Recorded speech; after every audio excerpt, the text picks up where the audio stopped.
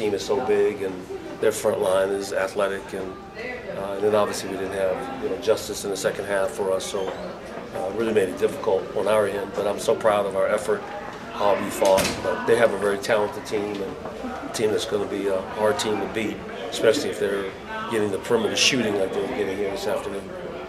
The zone defense kind of gave them some trouble. Uh, did you kind of expect it to go that way in the first half? Well, we knew we had to play some uh, because of their front line and their size. So we knew we were going to play some zone. We had worked on it, and um, it didn't do enough for us because uh, you know they shot it better than we had hoped they would. But their inside presence, and then even when they shot it from the zone, it's still you know you feel like the game really clicks on for them when the ball is in the air. How well they can go get it out of the air and off the backboard, and even off a free throw blockhouse. So we you know, we didn't do enough of our job to keep them off, but they're very talented and athletic and hard to keep off the glass.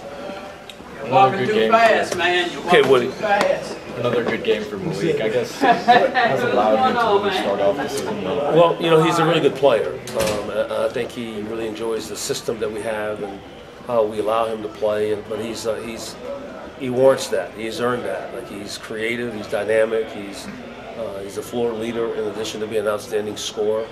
Uh, he's very well coached throughout his time in high school and AAU. So we kind of knew we were what we were getting when we recruited him. Um, but certainly, you know, his shot making and playmaking has been much needed for our team.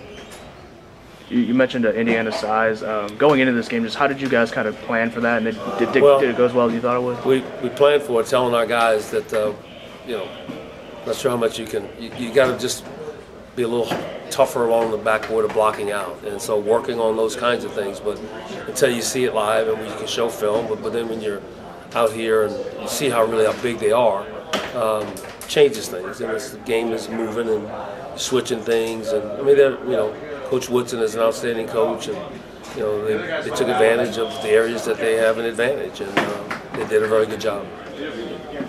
Coach, I just wondered if I could ask. You mentioned no Justice Ajogbor in the second half. Yeah. If you could comment just on his status moving. Yeah, I'm not quite sure. I know he's had a hand injury coming into it, uh, but then he certainly, I think he re-injured it, and maybe in a way that may have um, done more damage to it. I'm not sure, uh, but certainly wasn't good based on our training staff saying that he was uh, he's out for the rest of the game. And I think they did some some X-rays or some type of uh, um, uh, analysis of it, but I'm not sure what the results are.